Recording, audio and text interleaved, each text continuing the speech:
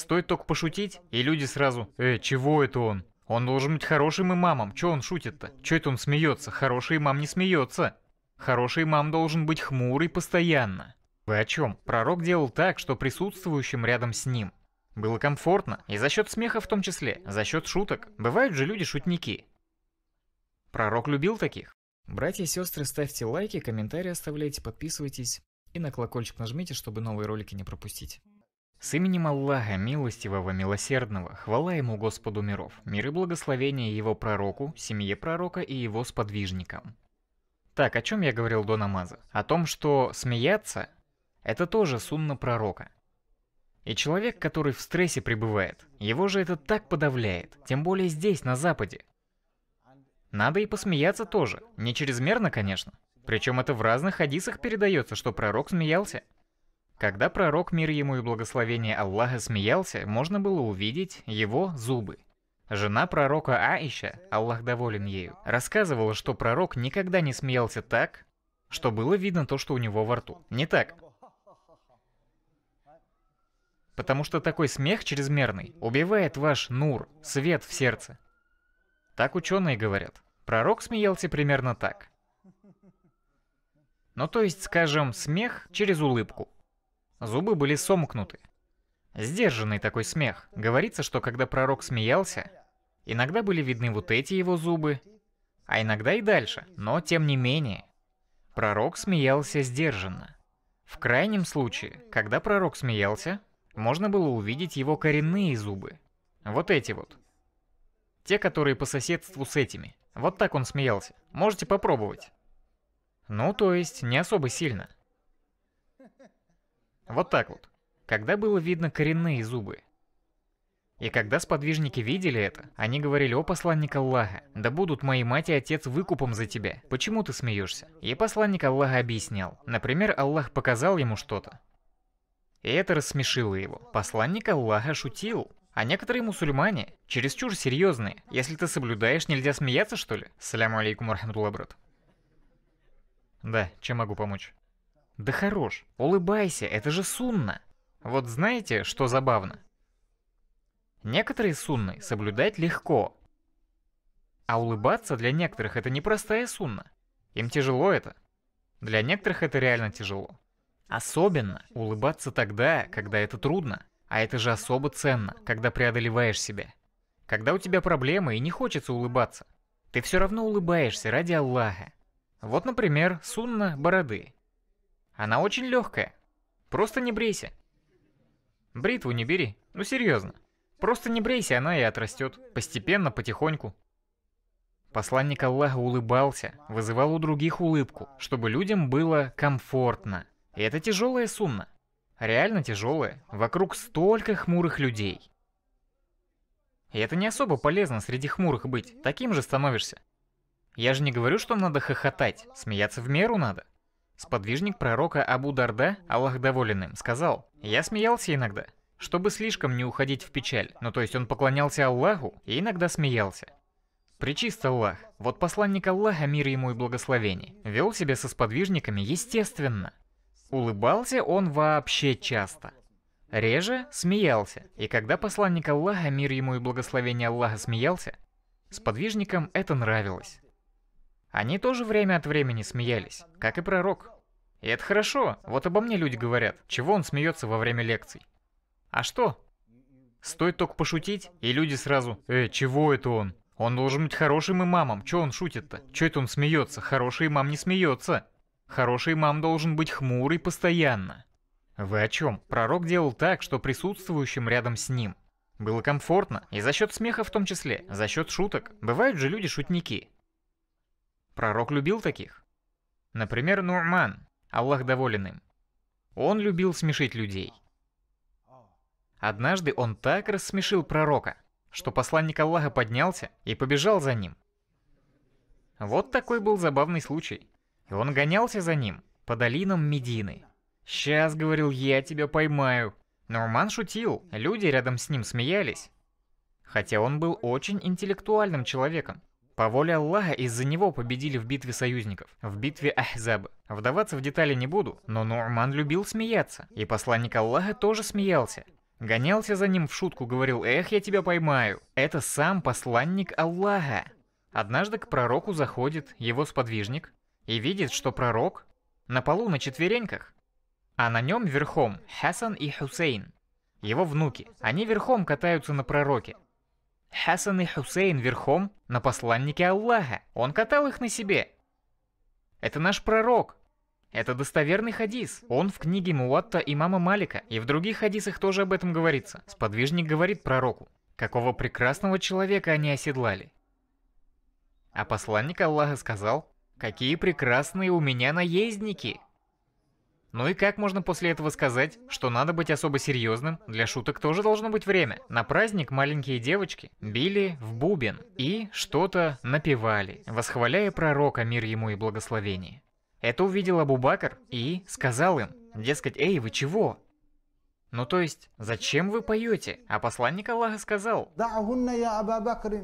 «Оставь их, Абу-Бакр, ну то есть, сегодня же праздник, сегодня люди радуются, пускай поют, пускай веселятся. А некоторые мусульмане ведут себя так, будто развлечение это вообще не из ислама. А посмотрите, как посланник Аллаха себя вел с женами.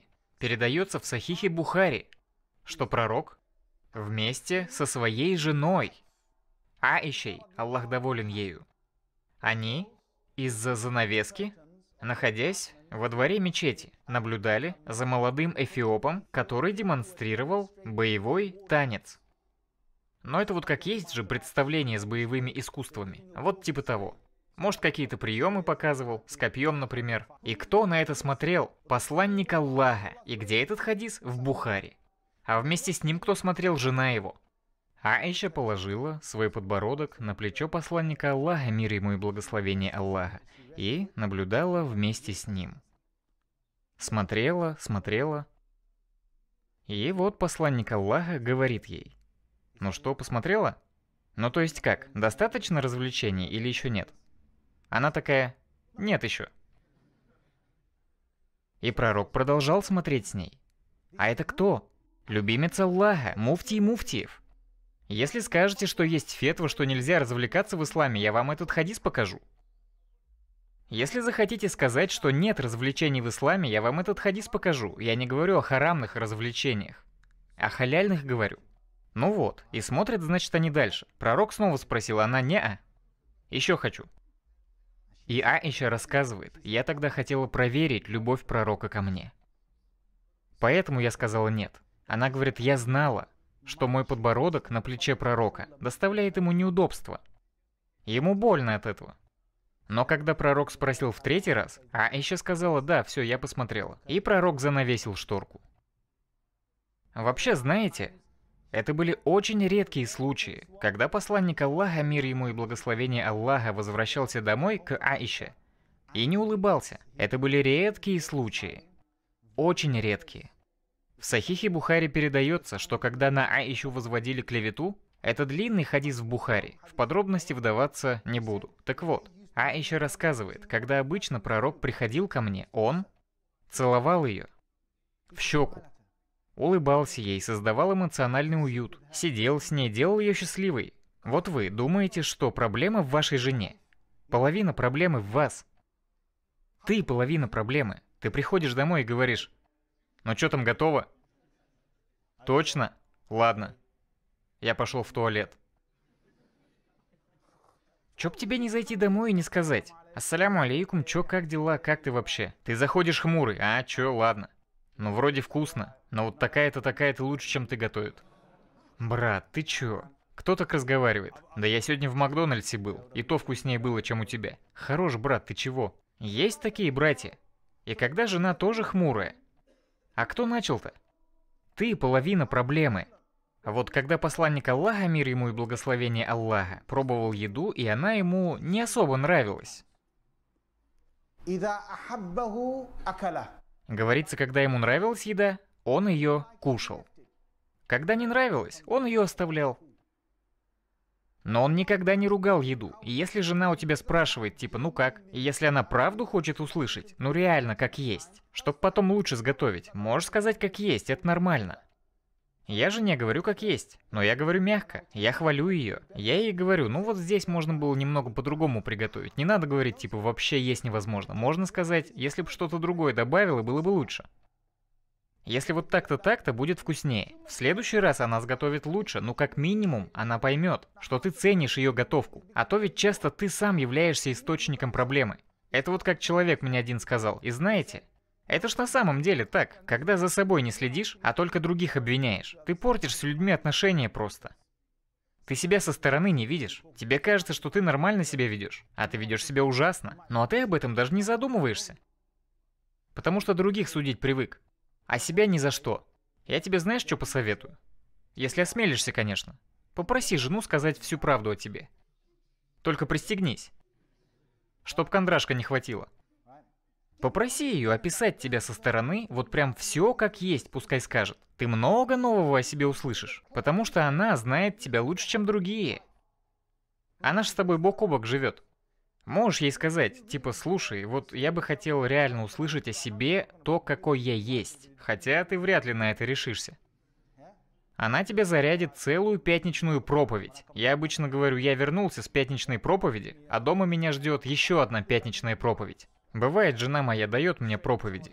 Ну и альхамдулилля, для меня это приемлемо. Я считаю это нормально, если она это делает из заботы, а не просто зло сорвать. Жена должна быть заинтересована в том, чтобы муж становился лучше. Вот смотрите, если ты будешь улыбаться, будешь с приветливым лицом встречать людей, смеяться иногда, создавать людям душевный комфорт. Увидишь, жизнь лучше станет. Стресса и так хватает. Аллах учит прибегать нас к терпению и к намазу. В этих двух вещах Аллах учит нас искать решение проблем. И Аллах говорит, что Он с терпеливыми. Вот знаете, в Коране есть три категории людей, о которых Аллах говорит, что Он с ними. Поистине Аллах с терпеливыми, с богобоязненными и с верующими. Три категории. Аллах с теми, кто боится его наказания, на регулярной основе боится. Это муттакин, обладатели таква, то есть богобоязненности. Аллах с верующими и Аллах с терпеливыми. Что означает, что Аллах с тобой? Это значит, что милость Аллаха с тобой, помощь Аллаха с тобой, что Аллах ведет тебя прямым путем. Если при проблемах взываешь к Аллаху, взывай к Аллаху через его имена. Подбери под ситуацию и взывай через это имя. Если хочешь, чтобы Аллах вел человека прямым путем, проси Аллаха через его имя Аль-Хади. Подними руки и говори «Я Хади, Я Хади, Я Хади». О ведущий прямым путем, о ведущий прямым путем. Можешь не поднимать руки, просто идешь куда-нибудь. И просишь Аллаха в это время. Я Хади, о ведущий прямым путем. Веди такого-то прямым путем, пожалуйста. Если хочешь, чтобы Аллах укрепил тебя, если у тебя некоторый тремор по поводу предстоящей ситуации, говори «Я Вакиль», «О покровитель». Или, например, если у тебя проблемы со слухом, говори «Я Самир», «Я Самир», «О слышащий», «О слышащий». Ты обращаешься к Аллаху, который слышит все. И твоя ситуация, дефект со слухом, как раз связана с именем Ас-Самир, всеслышащий. Попробуй к Аллаху взывать через это имя, и он поможет, иншалла, увидишь. Если хочешь исцеления, говори «Я Шафи», «О исцеляющий». Это не одно из 99 имен, это дополнительное. Говори «Я Шафи Аль-Амрад», «О излечивающий все болезни». Посланник Аллаха говорил, «О Аллах, нет другого исцеления, кроме того, что даешь Ты. Я хочу, чтобы Ты исцелил меня таким исцелением, у которого нет побочных эффектов. Никаких дурных последствий. Это хадис из уст посланника Аллаха. Или взывай к Аллаху через его имена. Например, если хочешь, чтобы Аллах укрепил тебя, говори «Я кауию», «О сильный». «Я кауию», «Я кауию», «О сильный», «О сильный». И Аллах укрепит тебя. Проси Аллаха через его имена. В них столько глубокого смысла. На все случаи жизни найдешь имя то, которое соответствует твоей ситуации. Проси Аллаха через эти имена, и Аллах дарует тебе избавление, дарует тебе помощь через это. Дальше. Всем нам нужно учиться сабру, терпению. Вот знаете, этому учатся всю жизнь. Вот я вас попрошу кое о чем. Скажите слово «сабр». Сколько времени это заняло? Одну секунду, так ведь? А для того, чтобы научиться терпению, нужна целая жизнь. Или полжизни, годы, Терпение – это не просто слово. Нужно учиться терпению на практике. Вот еще один источник огромного количества блага. Это истории пророков из Корана. Каждого пророка постигали бедствия, и Аллах описывает это в Коране. И те молитвы, с которыми они обращались к Аллаху во время проблем, если также будешь обращаться к Аллаху, Аллах поможет тебе, как им помог. Одна из сильных дуа в хадисе от Тирмиди передается, и в Коране эта дуа тоже есть. Ее произнес пророк Юнус в животе рыбы. لا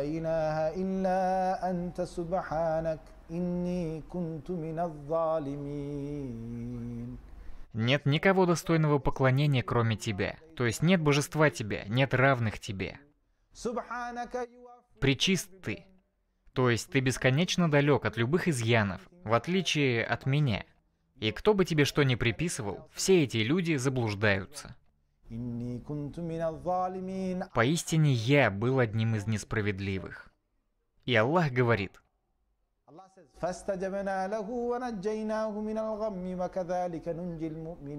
мы ответили на его мольбу и спасли его от печали. Так мы спасаем верующих. То есть любой верующий до судного дня, который обратится к Аллаху с этой молитвой, Аллах поможет ему через нее.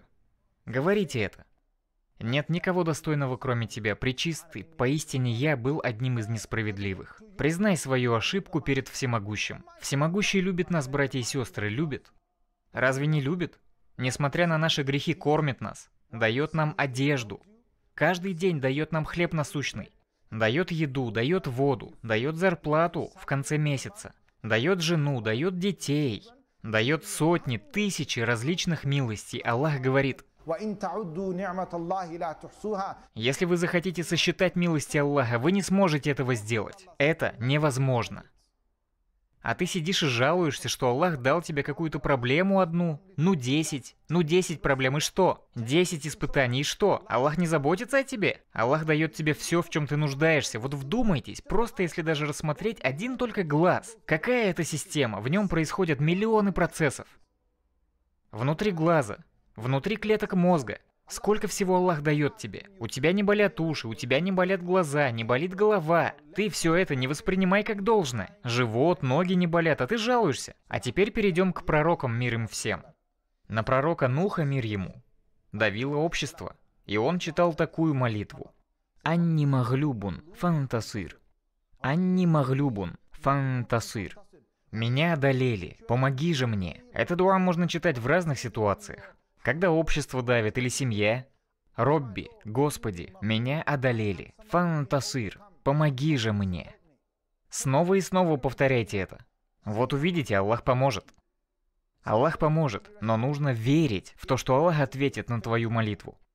Верь Аллаху, уповай на Него. Доверие Аллаху и глубокая вера в Него. Верь, что Аллах ответит. Не надо вот так вот дуа делать, типа, ну я, конечно, попрошу у Аллаха, но я не знаю, может он не ответит. Вдруг не ответит. Было же такое, что Аллах не отвечал, может и в этот раз не ответит. Это от шайтана. Скажи, Аллах поможет мне, инша Аллах. Я не совершаю больших грехов, так почему? Моя дуа не сработает. Я соблюдаю ислам, выполняю то, что Аллах велел. Аллах поможет мне, Аллах ответит мне на мольбу, иншаллах. Ответит. Посланник Аллаха сказал, Обращайся к Аллаху с полной убежденностью, что Аллах ответит.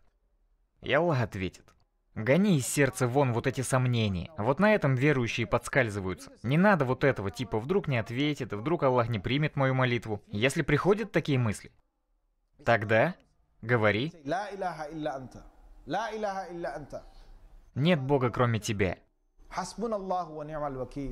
Достаточно нам Аллаха, и какой он прекрасный покровитель. От многих несчастий Аллах помогает через эту дуа. Посланник Аллаха учил нас.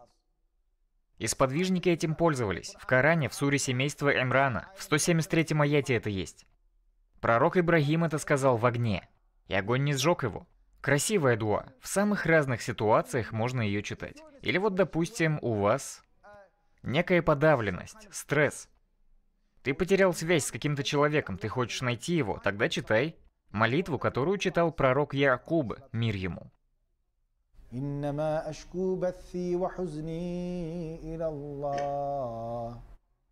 Мои жалобы и печаль обращены только к Аллаху. Пророк Якуб жаловался на свои печали только Аллаху. Еще есть такой аят.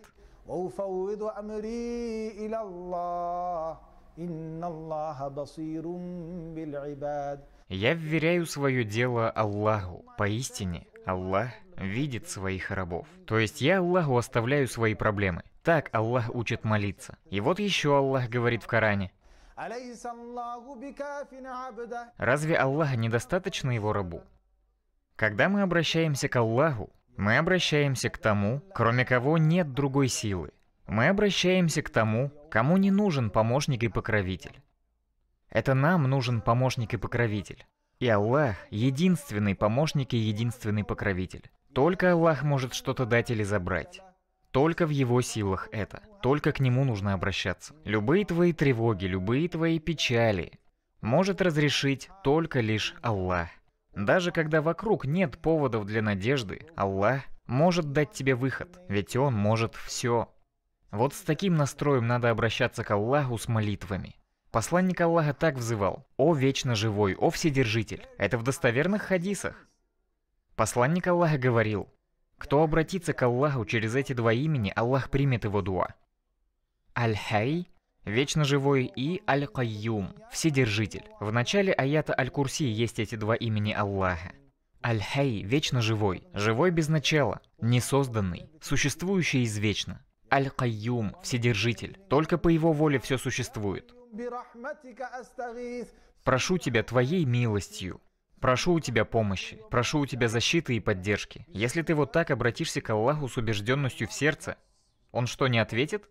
Аллаху Акбар. Вот знаете, был ряд случаев, когда я в жизни испытывал тяжелые проблемы. И вот знаете, просыпаешься ночью и обращаешься к Аллаху. Вот с этими словами –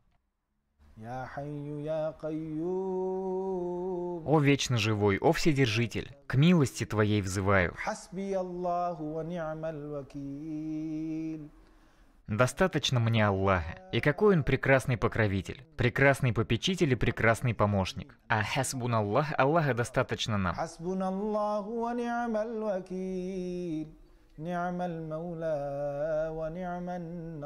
Достаточно нам Аллаха, и какой Он прекрасный покровитель. Во тьме ночи я просил у Аллаха помощи. И я говорю вам, так же, как Аллах решил мои проблемы, решит и ваши.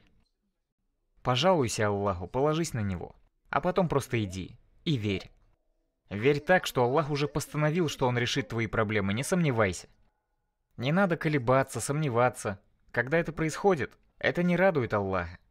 А когда ты уверен в Аллахе, Аллах доволен тобой, потому что ты доверился Ему. Аллах говорит, «И пусть на Аллаха уповают верующие».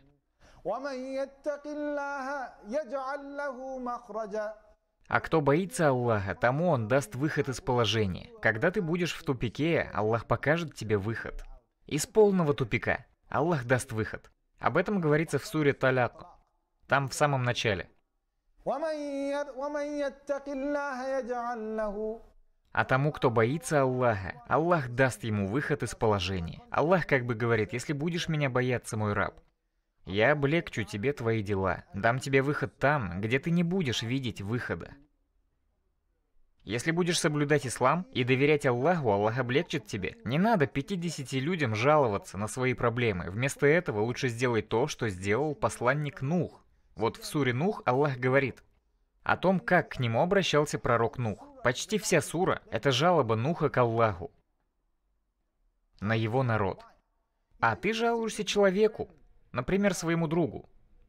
Ну, допустим, его Ахмад зовут. Ты говоришь, Ахмад, тут такое дело, вот так, вот так со мной поступили. Или там жене, или жена мужу жалуется. Вместо этого пожалуйся Аллаху. Скажи Аллаху все как есть. Да, он уже и так знает без тебя, но ты поговори с ним. Скажи, о Аллах, я сказал ему вот так-то, а он мне ответил вот так-то. Я не знаю, что делать, о Аллах, я оставляю это тебе. Или если вы сестра, пожалуйтесь Аллаху. Скажите, вот мой муж вот так мне сказал. Или муж на жену пусть пожалуется Аллаху. На жену, на мужа, на детей. Жалуйся Аллаху, а не людям. О Аллах, я сделал так, а мне ответили вот так. О Аллах, я прошу тебя, помоги мне. Пророк Нух жаловался на свой народ. У я призывал их скрыто и открыто, днем и ночью, но они закрывались одеждами, пальцами уши затыкали. На что это похоже? На жалобу другу. На то, как друг жалуется близкому другу. Аллаха сделай своим другом, Аллаха сделай своим защитником, своим психологом. Аллах говорит,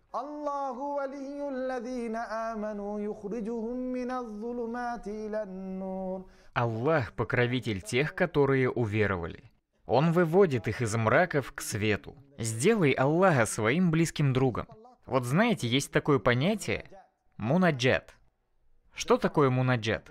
Вот есть дуа, то есть взывание к Аллаху с мольбой, а есть мунаджат – это личный разговор, личный, тайный разговор. Кто является твоим самым близким другом? Скажите, братья. Всевышний Аллах. Разговаривай с Ним. Поговори с Ним. Расскажи о проблемах. И на следующий день тебе будет лучше. Поговори с Аллахом и будь уверен, что Он решит твои проблемы, Он позаботится о тебе. Когда разговариваешь с Аллахом, преисполнись азма, огромной уверенности, и помощь Аллаха прибудет с тобой, с дозволения Аллаха. А теперь я бы хотел привести вам некоторые дуа пророков. Вот, например, дуа при болезни. В Коране Аллах приводит дуа пророка Аюба. Оно в суре «Пророки».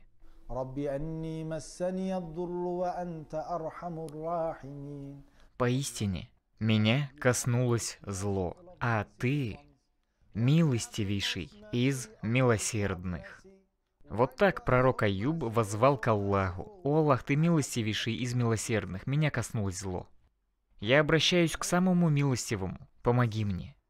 То есть посыл пророка Аюба был таков. «О Аллах, ты ведь самый милостивейший из милосердных, а меня коснулось зло.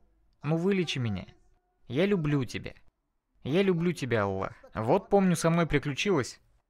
Тяжелая ситуация у меня была. Воспалилась кость. Тазобедренный сустав. Давно это было. Лет 20 уже назад. Так больно было. Иной раз боль была просто невыносимой. Невыносимой.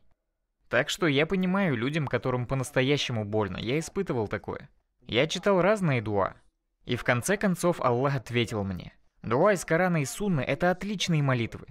Через них Аллах очень хорошо помогает. Вы только верьте, что Аллах поможет. Пророк учил при боли читать такую дуа, и нужно верить, что Аллах поможет. Читайте эту дуа с убежденностью. Пророк учил, что на больное место нужно положить правую руку. Этот хадис из сборника Тирмиди, и он также в других книгах.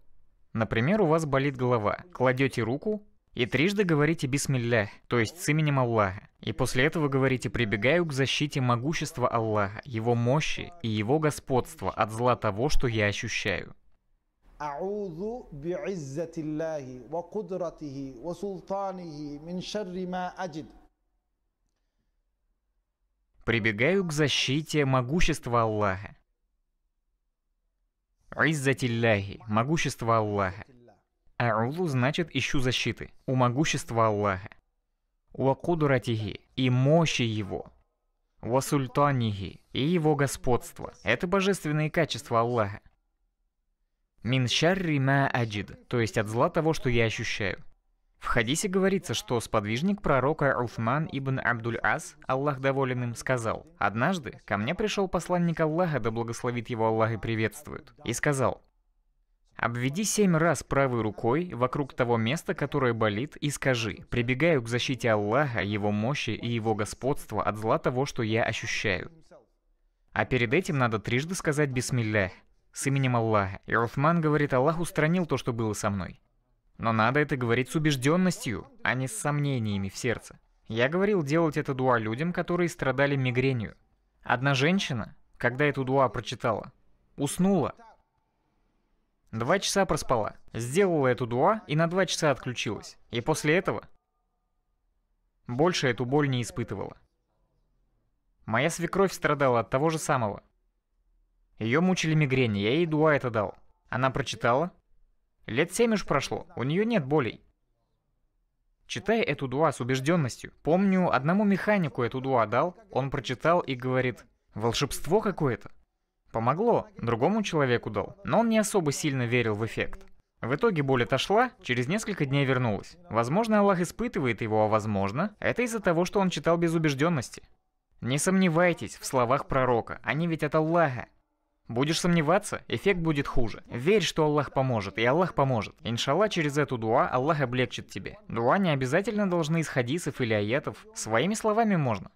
Или, как я сказал, можно читать дуа пророка Аюба. «Анни массанья дурру ва анта архамур рахимин». «Меня коснулось зло, а ведь ты милостивейший из милосердных». Или можно сказать, «О Аллах, спасибо, что ты убрал эту боль». Аллах еще не убрал, а ты заранее говоришь, «О Аллах, спасибо, спасибо тебе большое, что ты убрал эту боль». Я читал так. И боль ушла. Через какое-то время боль снова вернулась. О Аллах, я люблю тебя, люблю тебя, спасибо тебе большое за то, что ты убрал эту боль. Спасибо тебе. Думаете, я шучу? Я так и говорил. Какие чувства к Аллаху у меня в сердце были, так я их и выражал. И. Боль ушла. Доверься Аллаху. Или вот такое бывало. Простудишься? Много раз уже такое было, что при простуде я обращался к Аллаху и говорил, «О Аллах, пожалуйста, я очень тебя прошу, вылечи. Мне вот эти дела надо доделать ради твоего довольства. Не посылай болезнь. И альхамдулиллях, часто это работает. А иногда болею и говорю альхамдулиллях. Аллах пожелал, чтобы я поболел. Может, чтобы грехи стереть, или чтобы возвысить мою степень перед ним. Альхамдулиллях. А может, Аллах ответит и вылечит. Альхамдулиллях. Будь на позитиве. То, что Аллах тебе предопределил, то и будет. Если больно, читай дуа пророка Аюба. Или какие-то другие дуа, которым пророк Мухаммад, саллаллаху алейхи вассалям, научил. Есть универсальные молитвы, которые помогают очень много от чего. Это сура Фатиха. Сура Фатиха – это лекарство чуть ли не ото всего вообще. Сподвижник один прочитал ее над больным, и Аллах вылечил его, хотя до этого момента пророк этому не учил. Это обычное дело. Сура Фатиха – это лекарство. В Сахихе Бухари передается, что человека одного укусила змея. И сподвижник, без хадиса посланника Аллаха, прочитал над ним Фатиху. Не было такого хадиса, что надо читать Фатиху над тем, кого укусила змея, а сподвижник прочитал. И несмотря на то, что в крови человека был змеиный яд, он выздоровел. Одна моя родственница попала в травматичную аварию – Многие ребра у нее были сломаны. Тяжелая авария. Врачи, которые ее наблюдали, сказали, что она может инвалидом остаться. Я спрашиваю ее, что ты читала для того, чтобы выздороветь? Как так тебе полегчало? Она говорит, я читала суру Фатиха и дула на себя. Читала, читала суру Фатиха и дула на себя. Вот, например, вы в больнице кого-то навещаете, читайте Фатиху. И дуйте на человека.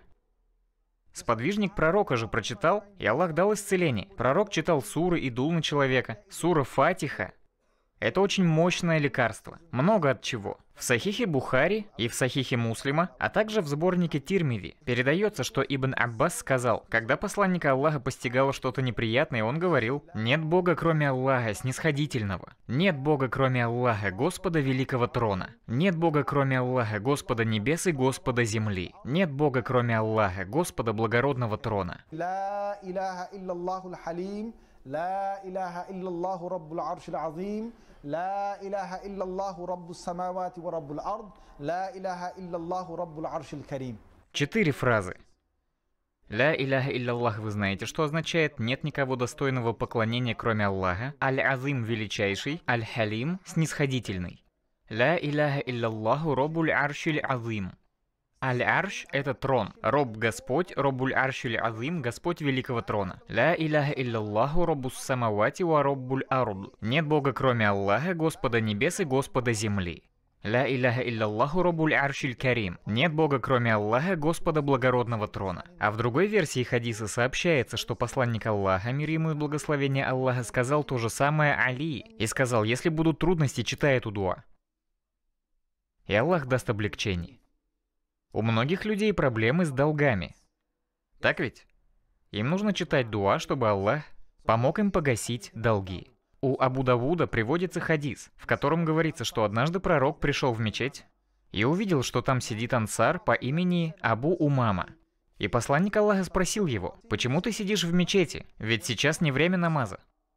Он ответил, Меня постигла печаль, на мне долги, о посланник Аллаха. И посланник Аллаха сказал, не научить ли мне тебя словам, через которые Аллах избавит тебя от печали и избавит тебя от долгов. Он сказал, конечно, у посланника Аллаха. И пророк сказал, утром и вечером читай вот эту дуа.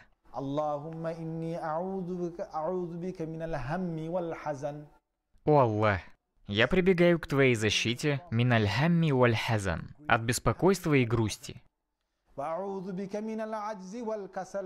Я прибегаю к тебе от немощи и лени. Ведь эти вещи на самом деле взаимосвязаны. Когда ты в тревогах, когда на тебе висят долги, ты ограничен, ты скован. Это останавливает тебя от многих полезных дел, и ты становишься ленивым. И прибегаю к тебе от скупости и трусости. Вышеупомянутые трудности ведут и к трусости к страху. И поэтому посланник Аллаха учил нас говорить «О Аллах, прибегаю к твоей защите от жадности и трусости, и я прибегаю к тебе от бремени долга и притеснения людей. Посланник Аллаха, мир ему и благословение Аллаха, научил его читать эту дуа утром и вечером. И он сказал, когда я стал это читать, Аллах избавил меня от моих долгов. Причем вот эти дуа можно читать в любое время. Во время уборки дома, пока идете куда-то, а не только после намаза. В сборнике Давуда передается хадис. Посланник Аллаха сказал о сме дочери Урмейса, у которой были трудности. Он сказал ей, говори эти слова. Аллах, Аллах мой Господь, я не предаю ему в сотоварищи никого. Аллах, Аллах, это вам еще одна дуа. Однажды посланник Аллаха сказал, если ваши тревоги будут очень сильными. Это говорится в достоверном хадисе из сборника Ахмада и еще у Ибн Хиббана. Так вот, пророк сказал, если тревога ваша будет очень сильной, говорите это. О Аллах, я твой раб, я сын твоего раба, и сын твоей рабы. Я в твоей власти.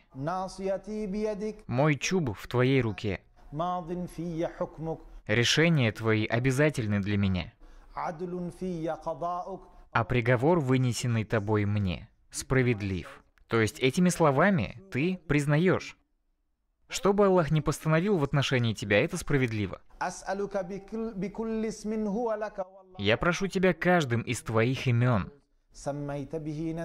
которым ты назвал сам себя, или не спаслал в книге твоей,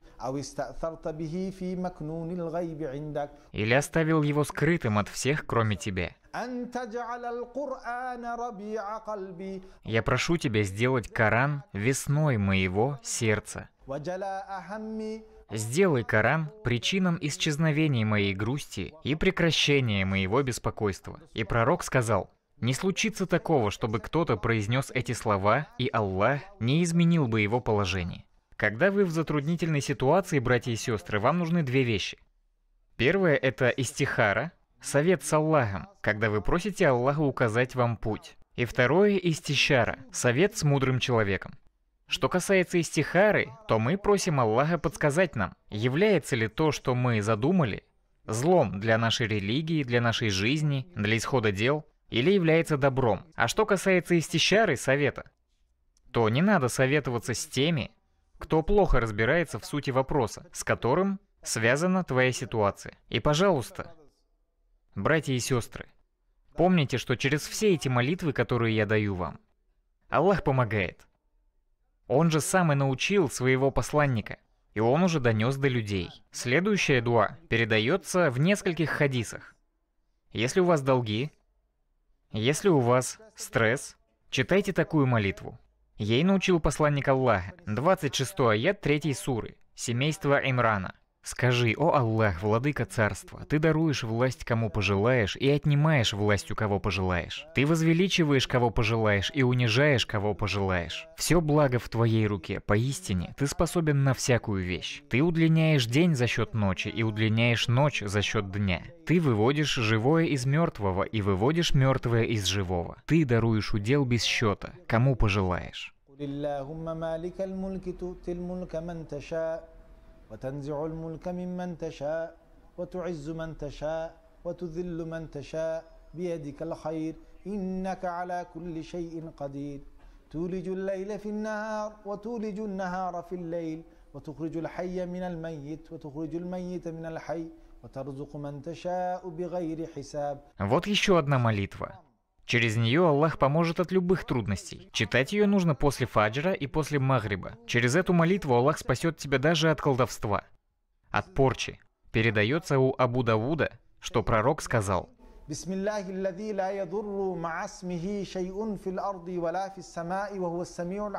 Трижды нужно произносить. С именем Аллаха, с именем которого ничто не причинит вреда ни на земле, ни на небесах. Ведь он слышащий, знающий. Три раза утром, три раза вечером, и Аллах будет оберегать вас.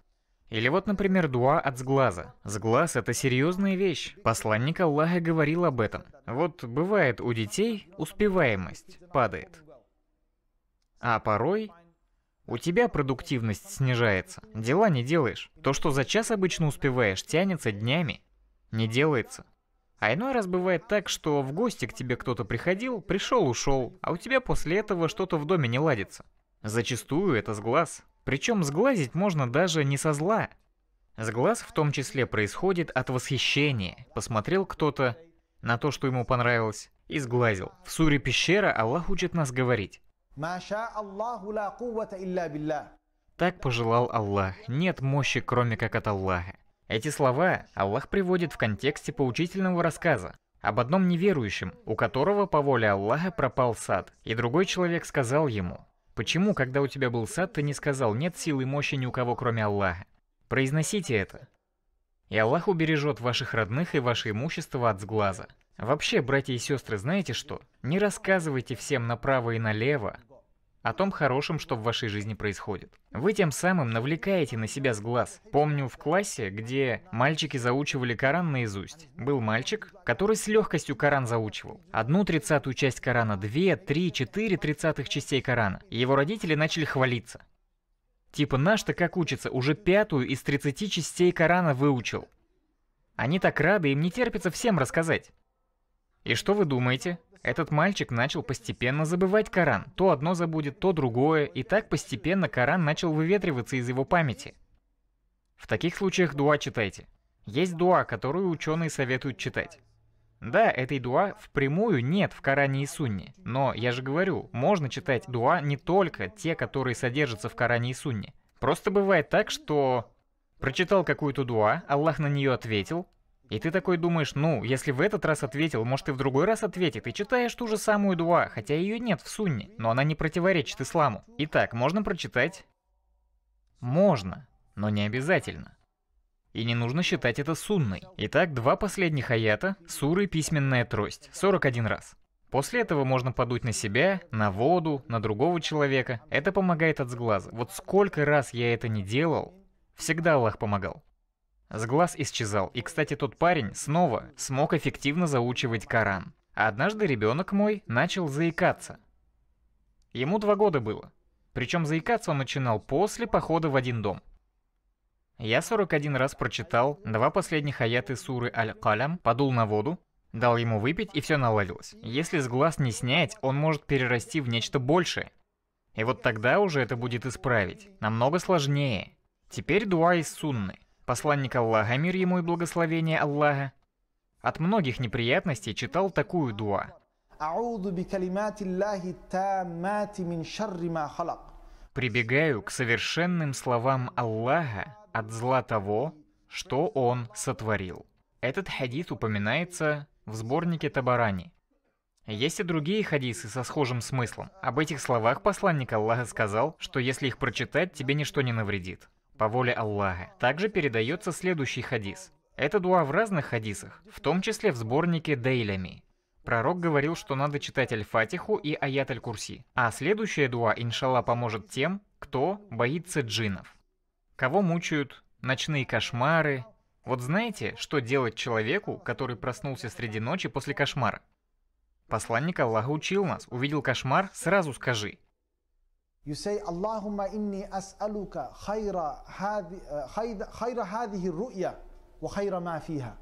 О Аллах, я прошу Тебя дать мне все самое лучшее из этого сна и всего, что в нем было.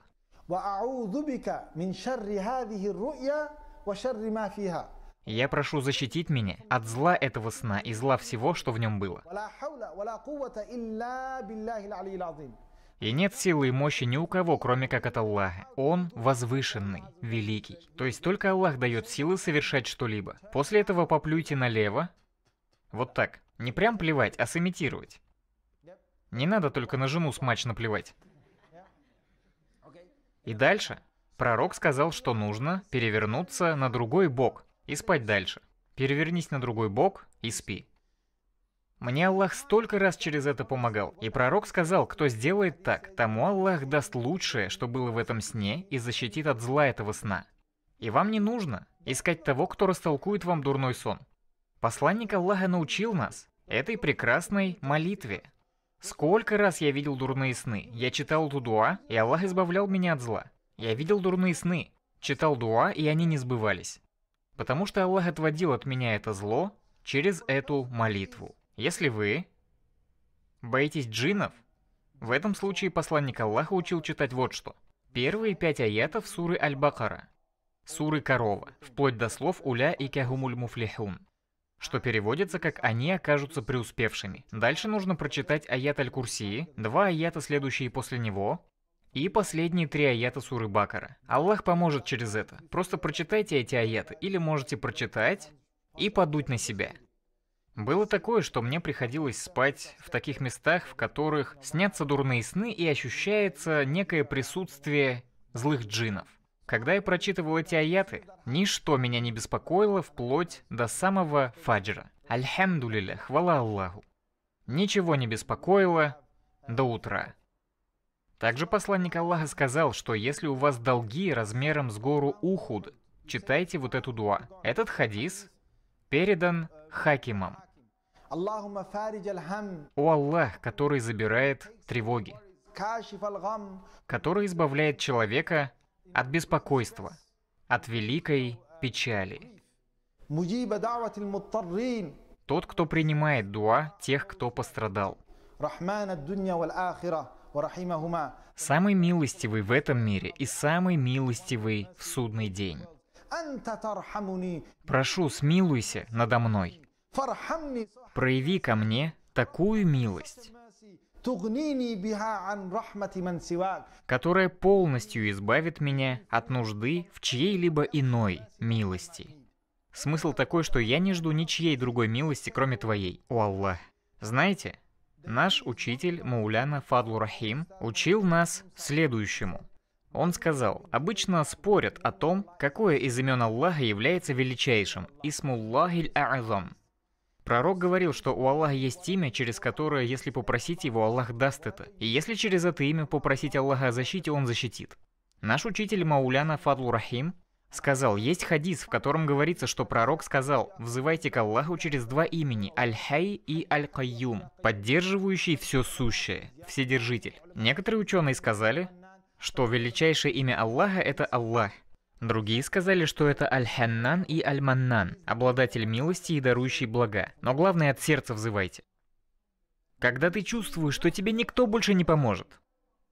Никто, кроме Аллаха. Вот в этот момент, когда ты взываешь к Аллаху, через любое из его имен, Аллах примет твою молитву. Если просто скажешь «О Аллах», ожидая помощи Аллаха, когда денег на карте у тебя вообще нет, когда родственники помочь тебе не могут, когда связи твои помочь не могут, когда ты ощущаешь себя в тупике, когда ты смотришь по сторонам и не видишь никаких возможностей выхода.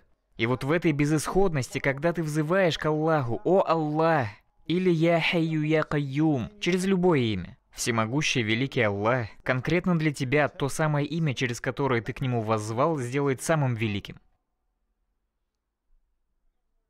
Если ты боишься, одолевает страх, Боишься человека, боишься кого-то влиятельного или судебного разбирательства. Если хочешь избавиться от страха, читай вот какую дуа, и увидишь, что Аллах поможет. В хадисе Тирмиди передается, что посланник Аллаха сказал «Прибегаю к совершенным словам Аллаха от его гнева, от его наказания или от сурового расчета и от зла его рабов, от наваждений дьяволов, чтобы они не приближались ко мне. Вот такая дуа. Прибегаю к совершенным словам Аллаха ото всего этого. И увидите, что Аллах устранит ваш страх из сердца. Если вы видите, что кто-то попал в беду, читайте дуа. Хадис передан у Тирмиди, у Ибн Маджа и также в других книгах.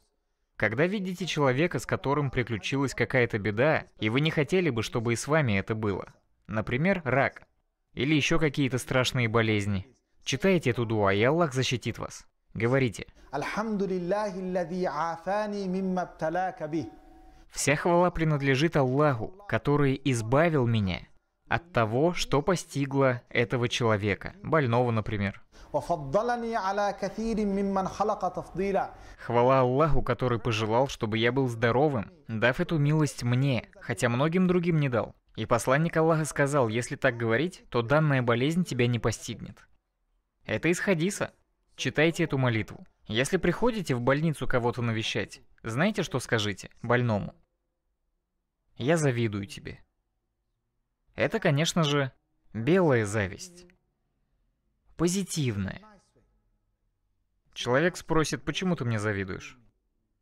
А вы ему расскажите хадис из сборника Муслима. Я рассказываю это, когда навещаю больных. Пророк сказал, Аллах в судный день позовет своего раба. И скажет ему. О сын Адама, я болел, а ты не пришел навестить меня. Человек скажет, как же так, Аллах? Ведь ты Господь миров. Как ты мог болеть? Я не понимаю, о чем ты говоришь. И Аллах скажет, болел такой-то, сын такого-то. Если бы ты сходил и навестил его, ты бы нашел меня возле него. Аллах говорит, ты бы нашел меня возле больного. Так что больному скажите, Аллах с тобой. Аллах с тобой. Вот с таким настроем и с таким подходом вы должны навещать больных. Это придаст больному сил. Вообще по жизни нужно быть источником позитива, а не негатива. Знаете, что я хочу сказать вам, братья и сестры? Разные невзгоды Аллах может нам посылать. Но что бы ни происходило, мы должны находить поводы для благодарности Аллаху. Есть один важный принцип, который нам нужно уяснить. Посланник Аллаха учил, что в плане мирского всегда нужно смотреть на тех, кто имеет меньше, чем ты. И это поможет тебе быть благодарным Аллаху за его милости. Тебе будет хотеться благодарить Аллаха. Говорить хвала Аллаху за то, что я все это имею. Альхамдулилля. Не смотри на людей, которые богаче, которые здоровее. Наоборот, смотри на тех, кому Аллах дал меньше. А вот в плане богобоязненности, наоборот, смотри на тех, у кого она выше. Этому учил посланник Аллаха. Каким бы набожным ты не был, чтобы всегда было к чему стремиться. Нужно привыкнуть смотреть на вещи так. Он поклоняется больше меня. Он, скорее всего, ближе к Аллаху, чем я. Тебя это будет подталкивать развиваться.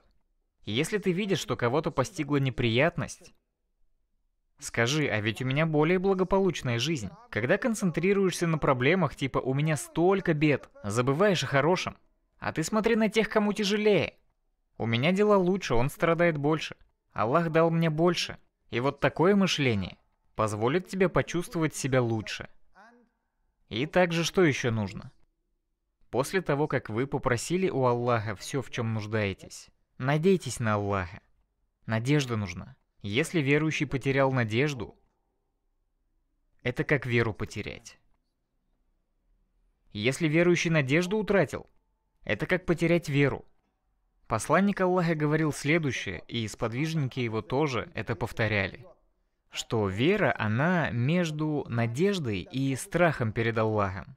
Если надежда ушла, полностью, утратил веру. Если обольстился, потерял страх, тоже веру потерял. Баланс нужен между надеждой и страхом. Пожалуйста, братья и сестры, делайте дуа за меня, я сделаю дуа за вас. Кстати, вопросы какие-нибудь есть у вас по теме? Важные вопросы по теме вышесказанного. Да, спрашивайте. Вассалям. Да воздаст вам Аллах благом. Важный вопрос. Я сегодня говорил о молитвах. А брат спрашивает о лекарствах. Сунной пророка является принимать лекарства, чтобы вылечиться. Если врач прописал вам лекарства, вам нужно их принимать. Это сунна. Это будет неправильно, ограничиться только молитвами и не лечиться. Да, посланник Аллаха Ибрагим, мир ему, находясь в огне, обратился к Аллаху, и огонь не вредил ему. Но это было чудом от Аллаха. Если ты не живешь так же праведно, как пророк Ибрагим, то создавай причины для исцеления, наряду с чтением дуа. Да, конечно, если человек очень близок к Аллаху, то он может просто фатиху прочитать на воду, выпить и выздороветь, хотя и такие люди лекарства пьют. Если у вас такая же сильная вера, можете пробовать и без лекарств. Вот история. Как-то раз сильно заболела жена моего шейха. У нее вроде болели ребра, колено и еще помимо этого ребра. И шейх, Рашид Рахман Фарух Сахиб, пусть Аллах благословит его. Пусть Аллах даст ему длинную жизнь, Всевышний Аллах много пользы принес нам. Через его усердие. Он сказал, что отвел жену к врачу, Жена была полностью укрыта, и плюс ко всему еще и носила никаб. Лицо у нее было закрыто. Врач говорит, ну, мне надо посмотреть ту область, которая у нее болит. У нее же были боли в боку. Что-то с ребрами было. И шейх говорит ей, врачу надо посмотреть ту область, которая болит у тебя. Она была дочерью другого большого шейха. Говорит, что? Но я хочу, чтобы вы понимали, так-то это нормально. Если, конечно, в этом есть реальная нужда. Женщина может мужчине-врачу показать любую часть тела, если в этом есть нужда. Также и мужчина женщине. Если в этом есть необходимость. Но у этой женщины была очень сильная богобоязненность. И она, несмотря на то, что это было дозволено, отказалась. В итоге к врачу она так и не пошла и мучилась с этой болью года 2-3. Потом боль ушла. Без лекарств. И шейх рассказывает мне. Я, говорит, сказал ей. Слушай, как ты терпела? Это ведь такую боль сильную доставляло тебе. И почему она прошла? Ты ведь лекарств никаких не принимала. Она говорит, я стала очень много читать молитвы за пророка Мухаммада. Говорит, саллаллаху аля сайидина ва набиина Мухаммад и так далее. Знаете, есть красивый хадис. Очень красивые слова пророка. Сподвижник пророка Убей ибн Кааб, Аллах доволен им, рассказывает, что он сказал ему, «О посланник Аллаха, я бы хотел побольше молиться за тебя». Хадис приводит Насаи и Ахмад. И посланник Аллаха сказал, «Можешь молиться за меня сколько хочешь». Он сказал, «О посланник Аллаха, если я буду молиться за тебя четверть всего своего времени». Пророк сказал, «Молись, если желаешь». И посланник Аллаха, мир ему и благословение, сказал, «Но если ты прибавишь, это будет лучше для тебя». И тогда Убей ибн Каб говорит, «О посланник Аллаха, а если я буду молиться за тебя половину всего своего времени?» Посланник Аллаха говорит, молись, если желаешь, но если добавишь, это будет лучше для тебя. И Убей ибн Каб сказал, «О посланник Аллаха, я стану молиться за тебя все свое свободное время». И тогда посланник Аллаха, мир ему и благословение Аллаха, сказал ему, «Тогда все твои печали, все твои тревоги и грехи Всевышний Аллах заберет». Вот так сказал посланник Аллаха в хадисе Ахмада. А по версии НАСА и, и Тирмиви он сказал, «Все твои тревоги Всевышний Аллах заберет». Тревоги как мирские, так и тревоги вечной жизни. На основе этого хадиса можно сделать вывод, что если много возносить мольбы на посланника Аллаха, Аллах избавит от тревог. Знаете, интересный случай был. Дочь пророка Фатима попросила у своего отца, посланника Аллаха, мир ему и благословение Аллаха, слугу, чтобы он помогал ей по дому. А пророк вместо этого научил дочь Зикру, словам поминания Аллаха. Он сказал ей, перед сном говори «Субхан Аллах» 33 раза, Альхамдулилях 33 раза и Аллаху Акбар 34 раза. Это для тебя будет лучше, чем слуга. Этот хадис у Бухари и Муслима. И Фатима рассказала, что выполнение домашних дел стало для нее легче, когда она читала этот зикр. И вот еще касательно приема лекарств. Иногда врачи прописывают антидепрессанты. У них есть побочные эффекты, так что будет лучше, если вы будете справляться со стрессом без них. Через вот эти молитвы, о которых я сказал в этой лекции. Эти антидепрессанты могут сделать вас заторможенным, они могут вызвать привыкание, у вас может нарушиться сон. В итоге проблема была одна, стала две. Было две, стало три. Можно как-то естественным образом поднять настроение. Шейх Ашраф Али Тануи однажды сказал, да помилует его Аллах, он дал совет старикам, у них тревог больше. Они иной раз могут быть очень угрюмыми. И Ашраф Али Тануи сказал, им две вещи помогут. Первое – это сбережение. Когда на кармане есть что-то, это успокаивает какие-то накопления. И второе – это общение со внуками. Это тоже успокаивает. Они вызывают улыбку, в них находят утешение, балуют их чем-нибудь. Вот бабушка моего первого сына очень его баловала. Ее уже нет в этом мире, да помилует Аллах ее душу. Она давала сладости ему, мне это очень не нравилось. Потом у нас с женой появилась дочь, хвала Аллаху, и я сказал, пусть балует. А почему? Я говорю, ну потому что состаримся, так же будем делать. Пусть насладится. Она больше не увидит цикл жизни. Она хочет побаловать внучка. Не мешай, пускай балует. Себе на радость. Потом мы будем дисциплинировать ребенка, как себя вести в нашем доме. И крайнее, о чем я бы хотел вам рассказать, хадис. Посланник Аллаха, мир ему и благословение Аллаха, сказал, кто будет много просить прощения у Аллаха, Аллах все проблемы решит. И вот казалось бы, да, интересно, покаяние это ведь не дуа, человек не просит чего-то мирского, но пророк сказал, что Аллах решит и мирские проблемы. Во-первых, поминание Аллаха, викр, это тоже дуа. Это тоже обращение к Аллаху. Суфьян ибн Уяйна, да помилует его Аллах, сказал, «Разве вы не читали слова Аллаха, из священного хадиса, то есть когда Аллах от первого лица говорит.